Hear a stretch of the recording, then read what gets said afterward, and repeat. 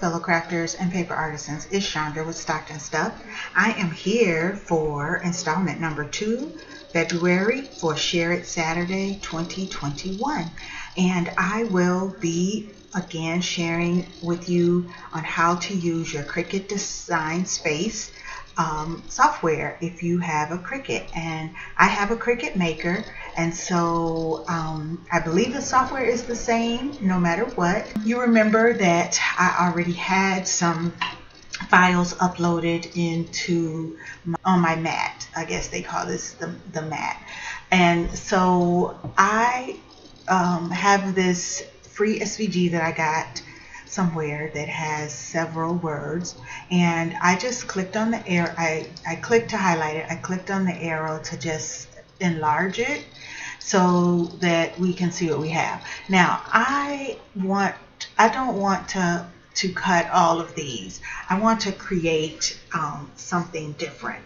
So I think that you know now a lot of people use the term um, boy mom, girl mom, girl dad, that kind of thing. So I think I want to do a shirt, design a shirt that says girl mom. So I want to use girl and mom, and I like that they're both in this kind of cursive um, font. So the first thing I'm going to do is click it again, and I'm going to ungroup it. Now, I am going to um, uh, I want to move mom, but notice that mom is in two parts. So I'm going to move boss just out of the way so that I can do what I need to do. And I am going to grab the corner next to mom and I'm going to regroup that so that I can move it around freely without having to move both letters. Then I'm going to do the same thing with girl. But notice again, it is also in two parts. So I'm going to grab girl and I am going to regroup that. And then I'm going to move that over here. Now, I like these little, I don't know what you call them, but I am going to grab those as well. And the easiest way might be to move boss. So let me regroup boss and get it out of the way. And then I can grab these group and group. Now, these are the pieces that I want. If I think that I would that I'm going to use anything else on this, uh, for this project, then I could simply just regroup them all and hide them. If I if I don't really uh, want to deal with them, I can delete them. But I'm going to save them um, in here just just because really. So I've got them highlighted and you remember from last month you go to the top notice that it's grayed out over here on the right and you're going to basically cross off that I. So now I have the pieces that I want to use in this video or on the shirt. So I have girl, mom up. So let me see. I want to use these in a way so that they're kind of accenting girl. So I'll work with these a minute until my hand, I think I'm going to do that. So it's almost like parentheses. And maybe I'll move that down a little. And curve that and all right. So I'm going to group that there. And I I use my grid lines and my ruler a lot because um, when I am making shirts, I I need those because I have a guide that tells me how big a a design should be on a shirt. And generally, if you're making an adult shirt, um, and I'm usually making medium medium to extra large, then your design should be between 9 and 10 inches. And so I unlock this on the left so that I could make this bigger because if I were to just stretch it, the words would not uh, be in good proportion. So um, I'm going to do this 10, 10 by 10 and that will um, I think that will be good for the shirt. All right now I just want to show you a couple of things. I did group this but I could change the colors or do whatever. When you're just doing word SVGs it doesn't matter what color it is on the screen unless you want to um, create a mock-up or do something like that which I will show you that today. But um, if you're just doing it for yourself, you're not sending it to sending the picture of it to anyone, you can leave it black and then just um, or, or, whatever color, doesn't matter, and then just change your vinyl out. But I do, I'm going to make this, um, so, so I need to ungroup it because I do want to do some color changes. And so I'm going to make girl pink. Let's make that pink. All right, and then I'll leave mom um, black.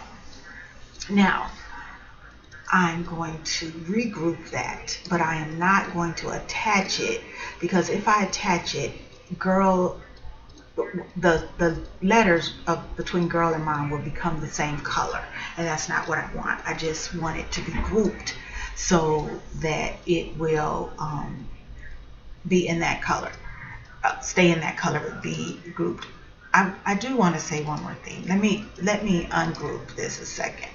Because actually the smart thing to do would be for me to attach girl so that it cuts just like this and then to attach mom because we know that that M is is is not attached it's just grouped and then it could um, it could end up uh, cutting in a different order because it will the machine will try to fit it on your mat as tightly as possible which I love that because then it saves vinyl for you.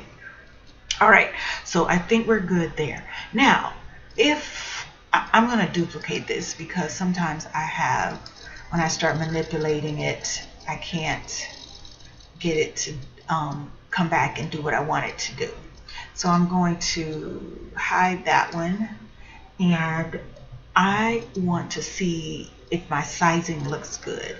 So I'm going to click over here on the left. See, I'm moving my, my mouse to the left. I'm going to click template. And it will take me to a Cricut template um, file or library, basically. And I'm just kind of scrolling through looking for a basic t-shirt. So I'm going to use this woman female scoop neck tee. So I'm clicking that.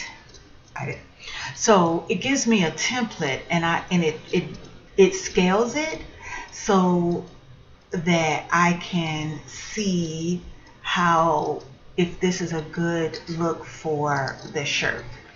So it kind of gives you an idea. So do I like that? Do I want to make it a little bigger? Um, so it kind of covers all the way down. It gives it gives you that idea. So I think I like the way it looks. Um, you can find guides for where how far down it should be on, depending on the type of shirt. It's two to three inches from the neckline is the basic um, is the basic formula for that. Now I um, so I do like that. So I think I'm going to say, okay, this is a good a good fit. Now I'm back to my main project again, and if I want to um, do a mock-up to see to send it maybe to a customer or whoever I'm making the shirt for, I would do an upload of um, a t-shirt. So when you go to um, browse on back, it takes you back to your main page from upload. Um, you it will take you to the files on your computer and I have a file called mockup backgrounds now sometimes I get them free from SVG um, No design bundles I think is where I get them. A lot of times they'll have uh, different ones. So I'm just going to use a white t-shirt because I have pink and black on here. So I just um, I just usually I, I always click, click complex because it just makes it makes life easier because I never know um, what it's going to be. And you just whichever one shows up you save it because we're not printing this um, and I will show you how I do create um, a mock-up for customers to see because I don't make any shirts for anyone without them seeing it So I would take this down. Oh, no, no, no, I don't want to do that. Let me un, and then I will make it smaller that way. And then I'm going to, and then I come up here to arrange. You see how that went to the back? I'm going to come up here to arrange and I'm going to move the shirt to the back. Okay. And then I want to make this smaller so I can see. Well, I actually could have made the shirt bigger. How about that? and then I can make this bigger. Well, let's do this because I already have it kind of sized out to scale.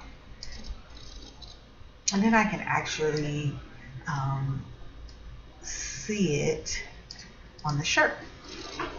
So that's how you make mock-up. It's really simple. Um, the person can say, I like it, I don't like it, um, whatever they wish to do. And then what you would do in order to send it to them, now you could do one or two things. If you have Windows, you can do snippet and just snip the picture out for them. If usually what I do is a print to cut and then I just don't cut. I print, I, um, I'll just save it as a PDF or a JPEG and I will um, put it on a flyer email and send. If I'm sending it to somebody Facebook, I'll use Snippet um, because then I can just get a quick picture of it. And you saw in my files, ups in my files. We had an update this week. I don't know if you all saw that. And boy, I've had a time this week with um, with my Cricut, and so I, I've been really struggling with it.